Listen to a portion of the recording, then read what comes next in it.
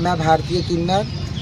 मैं सभी मेरे समुदाय के किन्नर समाज से व अन्य वर्ग आम जन से सभी से ये अपील और निवेदन करती हूँ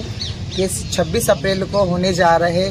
आम लोकसभा चुनाव के अंदर ज़्यादा से ज़्यादा मतदान करें